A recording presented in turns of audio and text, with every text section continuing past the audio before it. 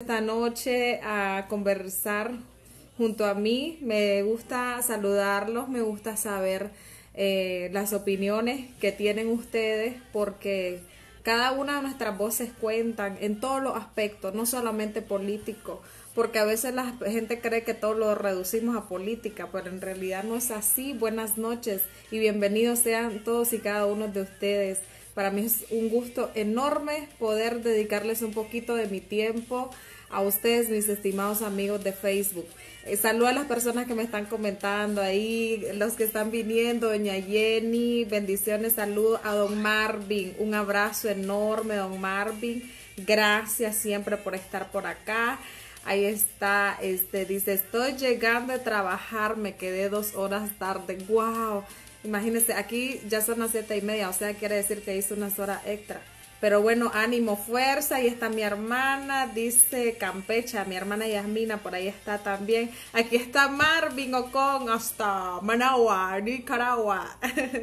Un saludo muy especial a todos ustedes, dice Marvin, te amo. Yo también a vos, a todos ustedes. Este, este es mi compromiso, tratar de estar con ustedes acá Dice Elvin, Elvin, un abrazo enorme, qué gusto tenerlo entre mis amistades. Eh, saludos, dice Don Enoch, buenas noches, Don Enoch, mi hermano. Somos hermanos, tenemos el mismo apellido. Solo soy hermana de, de, de madre. Anthony, ahí está mi hermano, bendiciones, Anthony. Ismael Sánchez dice, hola, saludos, mi amor, te amo. yo también, yo también. Otto Morán, Bendiciones, saludos. Hola, Anthony. Dice, doña Jenny, sí se escucha bien. Dice doña Rosaura, luces maravillosa. Muchísimas gracias. Buenas noches. La verdad es que, buenas noches, dice compartir contigo. Se escucha muy bien. Saludos, mi amor, dice Alex Murillo. Saludos, Alex. Leo, por aquí está también. Dice, ah, dice que se ve un poco mal. Cuénteme cómo está, qué tal está.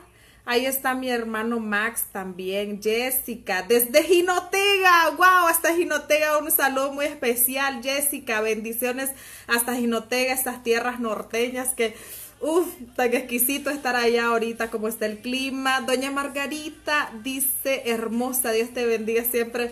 Un beso para usted, mi bonita, como le digo yo. Saludos, Leo, gracias por cada uno de sus comentarios la verdad que me llena muchísimo de gusto. Eh, eh, o sea, ¿quién diría que un simple mensaje, un simple comentario le llena a uno de energía eh, la vida? Este, porque no siempre estamos en, lo alto, a veces subimos y bajamos, tenemos altas y bajas. estoy hablando pues de, de las situaciones que uno atraviesa, pero lo importante es saber que hay muchos motivos para sonreír, para seguir en pie, para seguirle pidiendo a Dios más que todo fortalezas. Nosotros nos hemos convertido en esas voces, nadie nos eligió, Nadie nos eligió, nosotros lo elegimos, nosotros decidimos que no íbamos a callar ante el dolor de nuestro pueblo. Así que aquí estamos. Buenas noches a cada uno de ustedes. Gracias por cada uno de sus comentarios. César, que está llegando. Gracias a las personas, cada uno de ustedes. Pues la intención es eh, ser la memoria, ser la memoria, eh, no olvidar ni a nuestros hermanos presos políticos, que son más de 122, sí, más de 122 y tampoco a, nuestros hermanos asesinados. Porque vean, a veces lo reducimos el número a 122 hermanos presos políticos, pero en realidad eh, las personas que sufren son más, porque detrás de cada uno de los presos hay, están las familias, familias que están sufriendo muchísimo. Buenas noches, doña Connie, por ahí la vi, gracias por llegar, bendiciones, un abrazo. Eh, sí, y la verdad que el dolor para las familias que tienen hermanos eh, presos políticos de, diferentes ah, lugares del país. Em, es difícil esa situación que viven ellos como familiares porque estar llegando a dejarles comida, estarlos visitando, estar pendientes de ellos, estar preocupado, a veces ni se duerme bien pensando, ah, lo estarán torturando en este momento. Y o sea, yo sé lo que es vivir esto, es bastante cruel, bastante duro, pero nosotros como, como ciudadanos eh, este, normal, que, que, que no podemos ser indiferentes. ¿Qué podemos hacer nosotros? Perfectamente nos podemos solidarizar con, con estas personas. ¿De qué manera podemos apoyar quizás económicamente con granos básicos? Decirle, hey, tome, llévele a, a su hijo preso político, llévele esta comidita o apóyense usted, porque muchos de ellos son las cabezas de hogar. Este, y, y para ellos, para bastante complejo que eh, esas cabezas de hogar han sido este, secuestrados. Entonces están sin, quedaron sin, sin, sin estas personas que eran los que les proveían alimentos, que hoy se encuentran secuestrados de parte de la dictadura criminal sandinista que nos ha tocado vivir. Eh, nunca lo esperamos, nunca lo deseamos, quizás generaciones anteriores por ejemplo, las personas que vivieron la situación dura y cruel de los ochentas, eh, muchos se exiliaron y pensaron que todo iba a ser distinto. Y tristemente, a 40 años después nos tocó repetir la misma historia. Es duro, es increíble. Dios permita que no nuestros hijos, nuestros nietos no vuelvan a repetir la situación que hemos vivido como nicaragüenses. Don Otto Morán, bendiciones a usted. Así es, Mayrita. Viva los estudiantes, viva la UPOLI, hasta los, para los presos políticos, libertad, dice. Así es, este, no debemos de olvidar a cada uno de esos chavalos que con gran valentía se enfrentaron ante, ante estos narcotraficantes, dictadores que no se medían las manos para asesinar a nuestros jóvenes, para herirlos. Recuerde, fueron más de nueve estudiantes que perdieron su vista debido a los disparos en los ojos, o sea, disparos certeros. No nos olvidemos de ellos. ¿Dónde están esos chavalos? Si usted tiene el alcance, apóyelo con una palabra, apóyelo en lo que tenga su alcance. Edward, bendiciones, buenas noches. Saludos desde California hasta California, un caluroso saludo, un abrazo enorme, doña Connie. Gracias por su cariño, mi cariño y estima a usted también. Eh, dice Hamilton, no hay que perder el ánimo, si la, sí y la lucha tenemos que seguir, no, no los políticos corruptos, dice, no perdamos la fe y el objetivo principal de la lucha, si ánimo seremos libres de la dictadura. Así es, siempre hay que mantenernos este, positivo y no es que nos estemos alentando porque hemos perdido algo. Eh, quizás vean, veamos con nuestros simples ojos que muchas cosas no, no, están sucediendo como quisiéramos, porque por ejemplo en abril, al ver tanto dolor y tanto luto de nuestro pueblo, hubiéramos deseado que ya se murieran, los encarcelaran a estos asesinos criminales, tanto los dictadores, Daniel Ortega, Rosario Murillo, como sus brazos armados, que son el ejército criminal sandinista y la policía, la guardia uniformada mm, asesina eh, deseamos que ellos sean enjuiciados, que sean encarcelados y que todo el peso de la ley les caiga. Pero sigamos este, teniendo esa esperanza, esa fe más que todo, hoy leía, hoy leía un post bien bonito y me gustó y me lo quedé.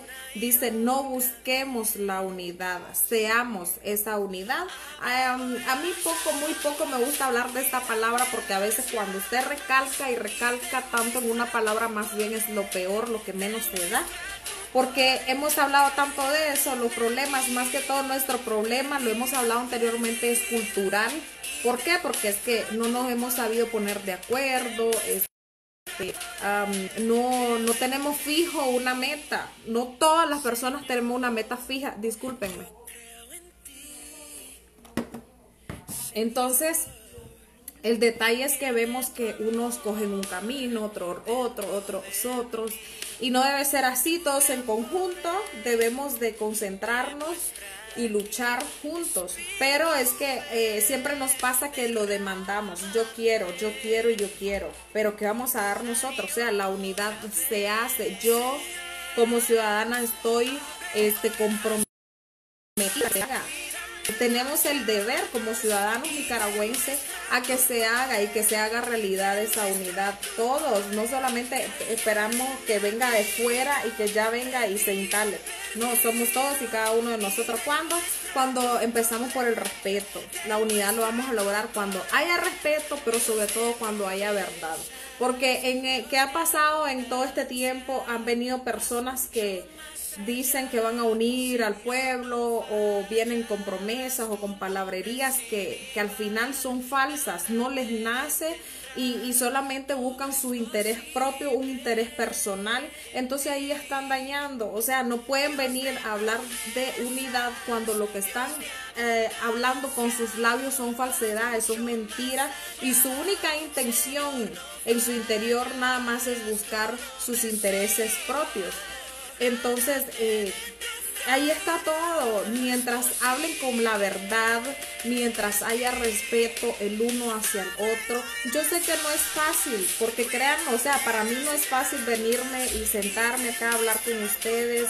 Y, conversar tal vez de respeto, de unidad, porque en realidad, ah, como dice un video, hay, hay seres humanos que no colaboran al respeto sea, yo lo he vivido, personas que, que, que, que no tienen educación, no tienen principios, no tienen valores, no tienen esa cultura bonita del respeto y vienen y, y, lo irrespetan a uno, tal vez. O sea, yo he vivido varias situaciones, vieran qué feo, vieran qué duro, y, y, vienen de personas que, que incluso dicen estar en esta lucha. Entonces nos hemos convertido en hipócritas. Donde yo digo, por ejemplo, por ejemplo, hey, eh, respeto a las mujeres, por favor, este, no a la violencia de género. Y la violencia la estoy provocando yo hacia mi mismo género cuando hablo de otra mujer, cuando me burlo de ella, cuando, este, ¿me entienden? Entonces todo eso, todo eso, este, todo eso nos afecta. O igual en otros y yo digo, o sea, unos están peleando por la economía, otros por diputaciones, por uh, cargos, por sus puestos políticos. Pero no, ya ahora casi nadie postea sobre los presos, casi nadie recuerda los asesinados, que son más de 700 hermanos que tenemos. Y vean que de, al menos ahorita que ya viene este abril, estamos, que, que nos pongamos las pilas en, en, diferentes lugares del mundo donde nos encontramos a manifestarnos, salgamos, manifestémonos, declaremos que en Nicaragua nada está normal, que en nuestro interior cargamos ese dolor de que con permanencia están lastimando a nuestro pueblo. ¿Cómo lo están lastimando?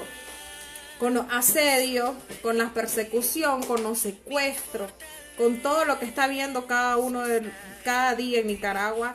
Eh, eso nos duele a nosotros. No seamos indiferentes. Vean los precios de las canastas básicas, los precios de los combustibles. Eso no es normal, eso no es agradable. En todo lo que ocurre ahí en las fronteras, la, corrupción tan grande que hay, que el ejército se encuentra a los coyotes que están pasando a las personas y ya se tienen un arreglo y solo se sacan dinero y se lo dan al ejército y ya pasa normal. O sea, sí, o sea, las personas que están cruzando, por un lado les sale bien a algunos porque no están pagando examen de COVID, no están pagando no sé qué, pero la corrupción, ¿a dónde va todo ese dinero? ¿A dónde va todo el dinero que no justifican en cada una de las, de las municipalidades, en cada una de las alcaldías? Son más de 150 y tantas alcaldías. No creen que es un Córdoba los que, lo, que, lo que ellos administran. Son millones de Córdobas de nosotros. Vean, vienen del, vienen, provienen, esos impuestos provienen del pueblo. De cada vez que usted toma un Córdoba para ir a comprar un pan, un churrito, de todo ahí nos están jalando. Esta gente nos quiere dejar de viaje sin, sin sudor, sin suspiro, sin nada y la gente, mucha gente está como normal, como si nada, están viendo cómo alteran los precios, cómo con tan tanta corrupción que hay en, en, cada una de las alcaldías del Frente Sandinista. A la gente no le rinden cuenta. O sea, se los digo porque estuve trabajando tres meses de concejal en abril, que era el cuarto. Gracias a Dios que renunciamos. Yo no me consentía poder estar en la misma mesa de los que daban las órdenes que golpear, no golpearan a los manifestantes. Yo no me consentía, ¿me entienden? Pero esta gente, o sea, lo que se roba son mucho. Yo he visto casos de personas que han llegado a trabajar a la alcaldía de mi municipalidad este, o sea, el municipio donde, me, donde, donde yo vivo, que entran con una mano adelante y otra atrás. Hay una muchacha que vivía hasta en una casita prestada de madera. Luego que entró a trabajar a la alcaldía, tienen fincas, tienen este, motos, tienen vehículos, tienen todo. No es que yo envidie las cosas materiales porque yo no soy materialista. Pero sí, o sea, existen maneras como trabajar para obtener esas cosas y es injusto, o sea, a, costilla del sudor de la gente, esos campesinos que les cuesta tanto ganarse el pan de cada día. por eso es que el día de hoy vemos que los campesinos tienen muchas tierras, hectáreas, montones, docenas, centenas de de tierras, pero ¿qué pasa? Usted no los va a ver como que progresar. ¿Por qué? Porque ellos cosechan eh, eh, eh, lo que les produce la tierra, eso mismo lo invierten en foliar, en fungicida, en chapear, en todo lo que es mano de obra y todo lo que hay que meterle a una finca. Eh, este, ahí mismo lo invierte. Entonces, ¿quién está regulando los precios de, la, de los productos, de la producción que saca el campesinado? Nadie. Allá, como les digo, en mi municipio, este, pues lo único que les importa es que les paguen los impuestos y ellos estárselos robando.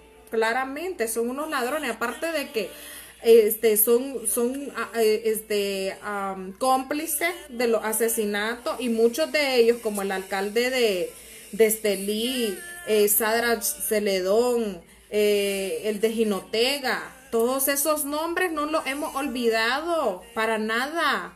Muchas veces ellos quieren que nosotros olvidemos, ellos quieren que nosotros no lo mencionemos, pero no se nos olvida que ellos daban la orden o agarraban las armas para ir a dispararle a la gente.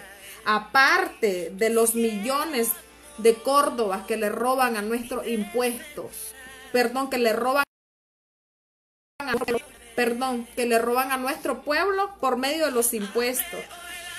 Es increíble, es que la gente lo ignora, o sea, o tal vez dice, ah, pero, pero por ejemplo, si de 10 Córdoba lo que yo aporto solo son, este, es el 15%.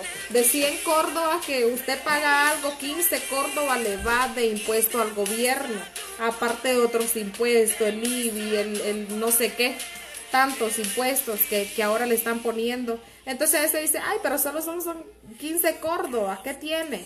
Ellos de 15 en 15, peso en peso, están acumulando para seguir reprimiendo al pueblo. Vean cuántas armas, tantas armas pesadas que sacaron, o sea, compraron tanque y como dice la canción, la gente tiene hambre y ellos decidieron invertirlo en tanques. ¿Para qué queremos tanques? ¿Para qué queríamos esos árboles de la vida, los chayos palos que hoy conocemos? Están haciendo a nuestro país un desastre como si fuera una finca y ellos dan órdenes y hacen lo que quieren. Pero, ¿qué podemos hacer usted y yo?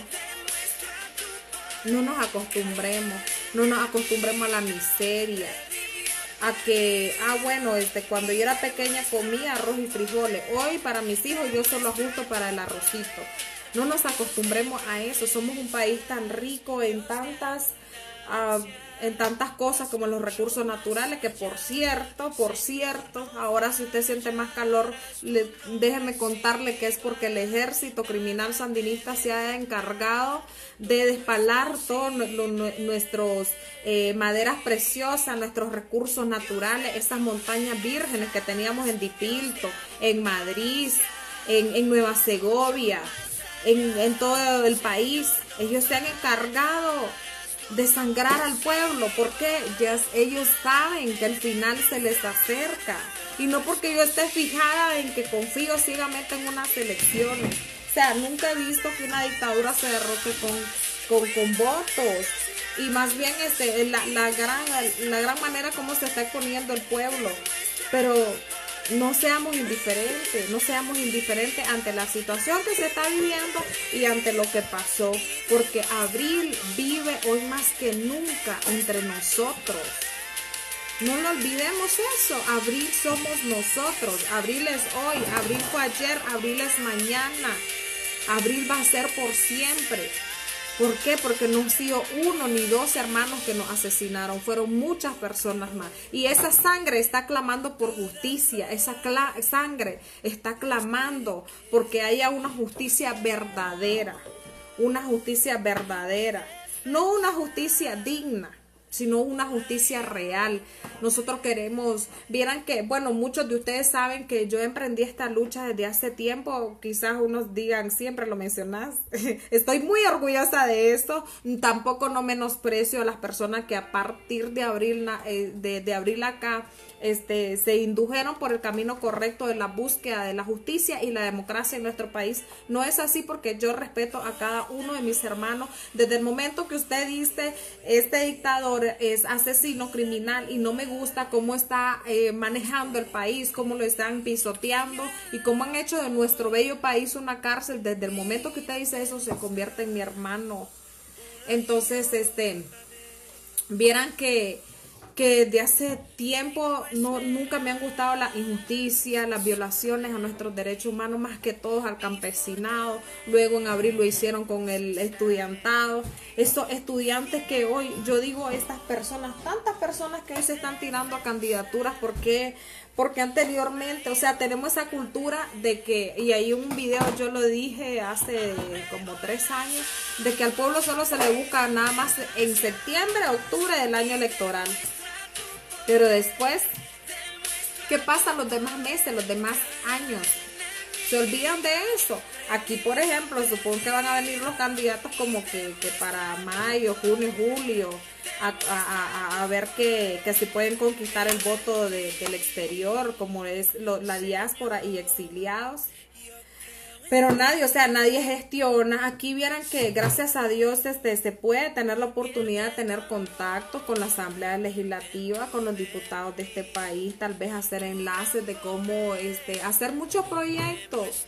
No queremos, o sea, no queremos tampoco que la gente se acostumbre a que usted le tiende, que ellos tiendan la mano y usted le va a dar, le va a resolver la vida y le da alimento, le da ropa, le da todo. Sí, está bien porque mm, tenemos necesidades, la verdad, aquí hay muchas necesidades. Si usted no cree, venga, se camine ahí por el Parque La Merced, siempre va a mirar personas, personas, un grupo de personas que duermen en la calle y de lo que pueden ellos se alimentan. Yo una que otra vez cuando yo puedo, pues llego, no es gran cosa lo que se les, no es grande el apoyo que se les puede dar pero es importante que ellos sepan que no están solos, que no lo hemos abandonado. Saludos, don Arnoldo. Gracias, recibo, recibo, recibo todos esos deseos. Gracias este, hasta allá, Estados Unidos. Ariel también hasta Estados Unidos. Mi hermano Sander. Por aquí está doña Eli. porque no me ha, no me ha puesto un comentario? Ah? Gracias a las personas que todavía están por acá. Y este, pues, usted se puede dar una vuelta, como le decía, por ahí, usted va a ver, va a ver que aún existen varias necesidades. Pero yo digo, la, la, incapacidad de gestión deberían de buscarse recursos como para que, o enlaces, qué sé yo, alianzas acá en este país para que esos chavalos que fueron este, expulsados de las universidades y que hoy se encuentran exiliados en, en, diferentes países tengan oportunidad de estudiar mediante becas, hacer este, no sé, este, alianza, podría decirlo, para que los chavalos sigan estudiando. Aquí hay muchos, o sea, yo los conozco, yo los conozco perfectamente, incluso yo, si yo tuviera la oportunidad de seguir estudiando, lo haría tengo mi cuarto año de contaduría pública de Nicaragua y ese cuarto año empecé a estudiar derecho, pero mm, no, no la terminé.